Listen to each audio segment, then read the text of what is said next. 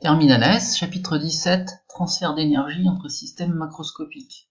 Le but de cette capsule est de commenter le cours car il est difficile à compléter seul.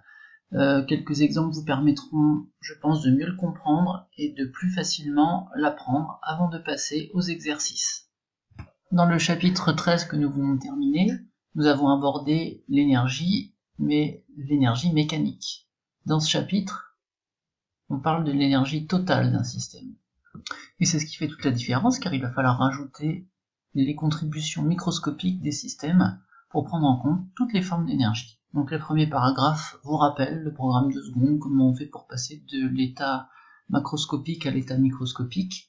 La description de la matière se fait à deux échelles pour passer de l'une à l'autre. La grandeur de passage, c'est la constante d'Avogadro qui permet de définir la mole. Je vous rappelle la définition de la mole, c'est le nombre d'entités qu'il y a dans 12 grammes de l'isotope 12 du carbone, à savoir le nombre Na, ici, qui vaut 6,02 avec plus de décimales actuellement, fois 10 puissance 23 entités par mol. On note donc mol 1. On en profite pour euh, déterminer l'incertitude relative sur cette constante universelle. L'incertitude absolue donc U de NA est de 0,000000027 fois 10 puissance 23 mol moins 1. On divise U de NA, cette incertitude absolue, par la valeur de la grandeur, et on obtient un rapport dont je vous rappelle qu'on va qualifier d'incertitude relative, et dont la valeur permet de qualifier la précision. Ici, on a une incertitude absolue qui est toute petite par rapport à la grandeur, donc on a une incertitude relative de 4 fois 10 puissance moins 8, ou 4 fois 10 puissance moins 6%. La précision avec laquelle on connaît le nombre d'Avogadro est donc très grande. On nous demande dans le programme de vous rappeler ce que c'est qu'un ordre de grandeur. Donc l'ordre de grandeur, c'est la puissance de 10 la plus proche du nombre. Et pour le nombre d'Avogadro, c'est donc ici comme on a un 6, la puissance de 10 immédiatement supérieure à 10 puissance 23, c'est-à-dire 10 puissance 24 entités par mol. Alors l'énergie totale d'un système, ce n'est pas seulement son énergie mécanique, c'est la somme de son énergie mécanique, donc EM, c'est-à-dire EC plus EP, je vous renvoie au chapitre 13, plus une autre contribution qu'on appelle son énergie interne. Son énergie interne, c'est une grandeur macroscopique. Mais cette grandeur macroscopique, en fait, elle représente elle résulte des contributions microscopiques de toutes les particules qui constituent le système. En particulier, l'énergie cinétique microscopique d'agitation. Quand vous avez un système global, par exemple une casserole remplie d'eau, toutes les molécules d'eau, à l'échelle microscopique, sont en agitation permanente. Cette agitation qui dépend de la température est résumée par une grandeur macroscopique qu'on appelle l'énergie interne. Notez U majuscule, cette énergie interne n'est pas mesurable. La seule chose que l'on puisse mesurer, c'est sa variation. Donc c'est le changement de l'énergie interne entre un état final et un état initial. On le notera delta U. Et ce delta U, on va voir qu'il est mesurable et qu'il est quantifiable par des relations que vous avez étudiées en première S. Je peux au passage vous remontrer au niveau du polycopier Une petite animation pour vous rappeler ce que c'est que l'agitation microscopique. L'énergie interne, comme je vous l'ai indiqué, dépend du mouvement des particules à l'échelle de la matière. Ici, vous avez la modélisation d'un gaz parfait, l'air, en bleu les particules, les molécules de, diazote, pardon, en rouge les molécules de dioxygène, et de façon incessante, désordonnée, vous avez des chocs et des mouvements de particules qui s'entrechoquent, qui vont entrechoquer les parois. Plus la température augmente, plus ce mouvement va être rapide. C'est l'énergie cinétique d'agitation.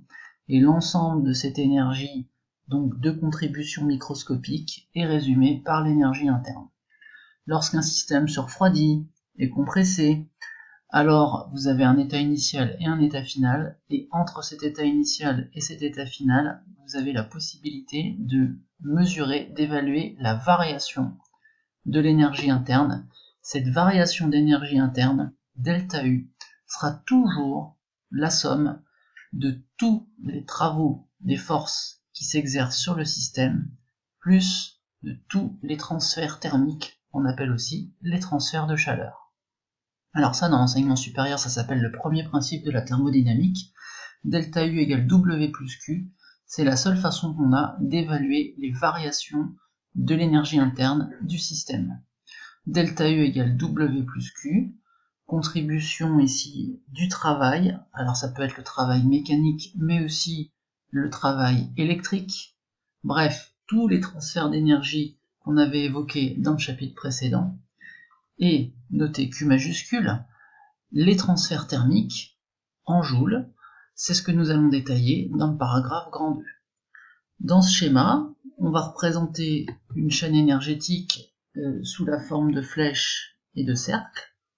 Dans le cercle, vous avez le système, donc si on étudie le système radiateur, pour fonctionner, un radiateur reçoit une quantité d'énergie sous la forme d'un travail électrique, on va noter W et qui sera un travail moteur, donc le, le radiateur reçoit une quantité positive, et en échange, il émet de la chaleur, il fait chauffer l'air environnant, donc il va restituer par transfert thermique une quantité d'énergie notée Q qui sera ici négative puisque du point de vue du système, ce système perd l'énergie thermique négative alors qu'il a reçu le travail électrique. Lorsqu'un système est isolé, c'est-à-dire lorsque son énergie interne est constante, bien delta U est égal à 0. Et si delta U est égal à 0, et ce sera souvent le cas dans les exercices, vous le verrez sur les piscines, les pompes à chaleur, les réfrigérateurs, etc., alors le premier principe de la thermodynamique s'écrit W plus Q égale 0. Imaginons que le radiateur soit un système isolé. Ça voudrait dire que toute l'énergie électrique qu'il reçoit, W, additionnée de l'énergie thermique, de la chaleur qu'il restitue à la pièce, euh, ça fait 0 si W est égal à moins Q, W plus Q est égal à 0. Alors dans cette relation delta U égale W plus Q, W on connaît, c'est le travail électrique ou le travail mécanique, mais Q c'est le transfert thermique. Vous devez apprendre par cœur qu'il existe trois modes de transfert thermique. Le premier mode, assez intuitif, c'est celui qu'on appelle la conduction. Dans le terme conduction, vous reconnaissez le mot conduire, la conduction, c'est en fait un transfert thermique par contact. Il n'y a pas de transport de matière lors de la conduction.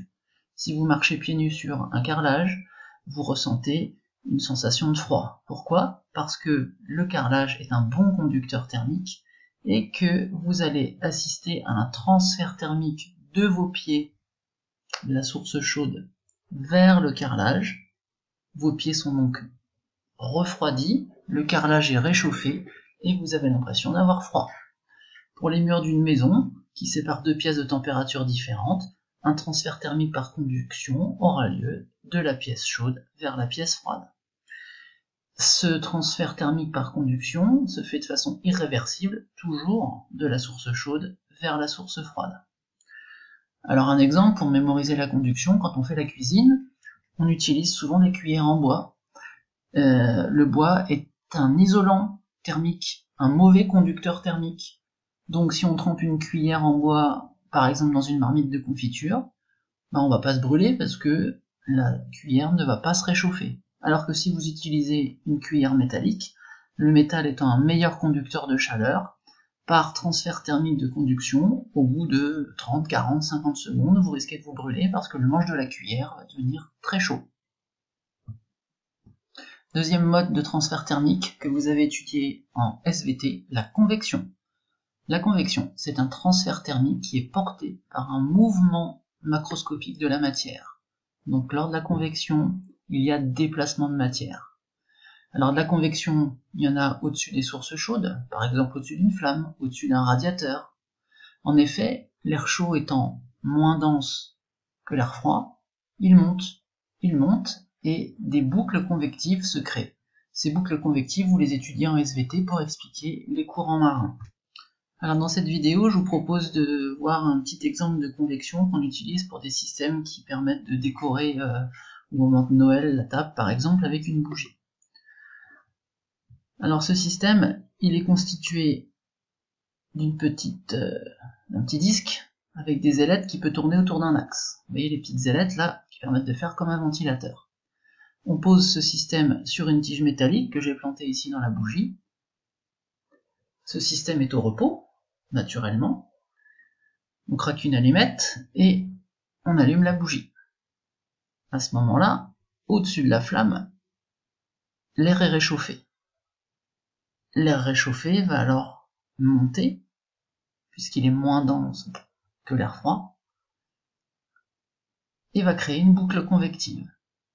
Ce courant ascendant, cette convection, donc ce déplacement de matière, lorsqu'il atteint les ailettes du disque, va provoquer la rotation de ce dernier. On a donc un petit peu d'énergie mécanique qui est créée grâce à la convection au-dessus de la flamme de la bougie. Alors évidemment, si après on souffle la flamme, on éteint la bougie, eh bien, la boucle de convection disparaît et le système, quand on l'arrête, ne peut pas repartir.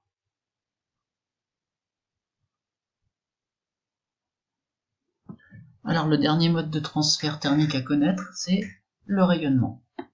Le rayonnement, c'est un transfert thermique qui va être porté par les ondes électromagnétiques émises ou absorbées. La plupart du temps, ce sont les ondes infrarouges, mais euh, les ondes euh, visibles transportent aussi de l'énergie. Je vous rappelle la relation de Planck, l'énergie transportée par une onde électromagnétique s'écrit delta E égale H fois F, où H est la constante de Planck et F la fréquence de l'onde électromagnétique. Alors un exemple, hein, le rayonnement d'une ampoule à incandescence ou le soleil qui réchauffe un mur sont des exemples de transfert thermique par rayonnement. Alors ce qu'il faut savoir, c'est que la plupart du temps, dans les situations concrètes, les transferts thermiques se font en cumulant les trois modes de transmission, et qu'un transfert thermique est un phénomène irréversible. L'échange d'énergie, je vous l'ai dit tout à l'heure, va toujours de la source chaude vers la source froide. L'inverse est physiquement impossible. Le paragraphe petit 2 est un cas particulier qu'on rencontre très souvent lorsqu'un système est à l'état solide ou à l'état liquide et qu'il n'échange de l'énergie que par transfert thermique. Donc il n'est le siège d'aucun échange d'énergie par travail et il ne change pas d'état. Alors dans ce cas-là, si le système échange de la chaleur, c'est ce qu'on appelle le transfert thermique, sa température varie.